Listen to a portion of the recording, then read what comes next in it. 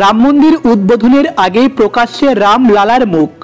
রাম মন্দিরের অভিষেক অনুষ্ঠানের আগেই প্রকাশ্যে এলো রাম লালার মূর্তির প্রথম দৃশ্য।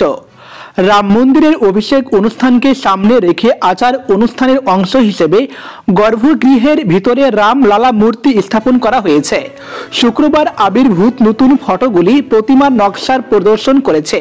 এর আগে রামলালার মূর্তির প্রথম দৃশ্য শেয়ার করা হয়েছিল, যেখানে মূর্তিটিকে সাদা কাপড়ে ঢাকা দেখা গিয়েছিল। এই একান্ন ইঞ্চি মূর্তিটি তৈরি করেছেন মহীশূর ভিত্তিক ভাস্কর অরুণ যোগীরাজ। মূর্তিটি বৃহস্পতিবার সকালে মন্দিরে আনা হয়েছে।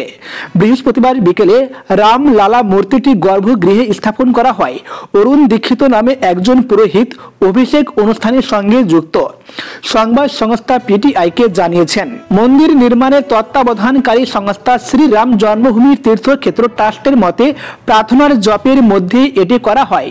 শ্রীরাম জন্মভূমির তীর্থক্ষেত্র ট্রাস্ট উডুপি পেজাওয়ার মাঠের স্টার্টি শ্রী বিশ্ব প্রসন্ন তীর্থ বলেছেন যে, বাইশে জানুয়ারি প্রধানমন্ত্রী নরেন্দ্র মোদীর উপস্থিতিতে অভিজিৎ মুহূর্তে মন্দিরে প্রতিমা স্থাপন করা হবে।